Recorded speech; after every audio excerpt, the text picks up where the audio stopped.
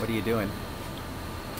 Well, right now I'm trying to get the ink in here, but not have it blend all together, since these fountain blocks aren't really a good fit for this press.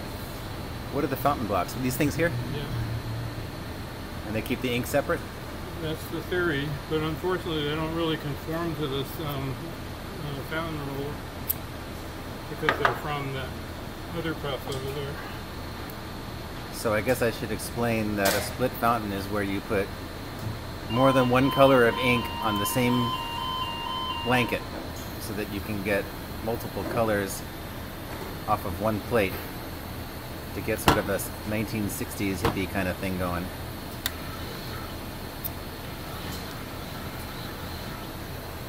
And the cool thing, we never did, have we ever done this at uh, Inkworks before? Oh yeah. We have? back in the Back in the 60s, Back in the day. 70s. 70s, 80s, sure.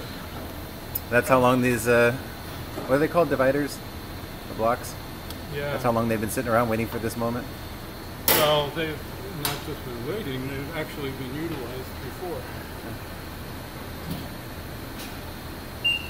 So we're just using one of the, uh, the towers here. This is a two-color press. There's the blanket down there.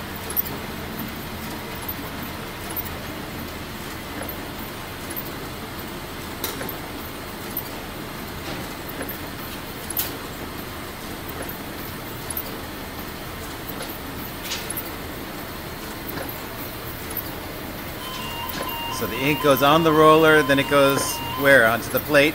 Well, it goes into the roller system, and then eventually it goes down to the plate. It's uh, it's called offset printing because the the uh, ink is offset to a series of rollers and blankets and plates. You get a positive image on the paper.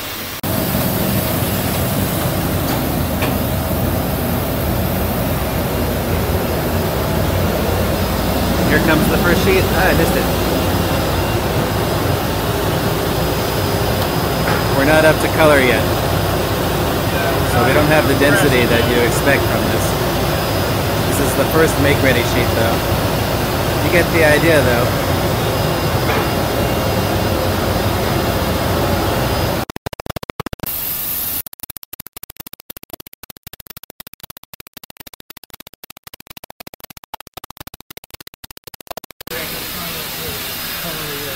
This is an ink I fucking perfect. Alright? That ink is awesome. Whole thing's perfect. Okay. Love it. Absolutely. do better than perfect. No, no, it, it's awesome. How do you think this is? Me, me too. Smells good, too. It looks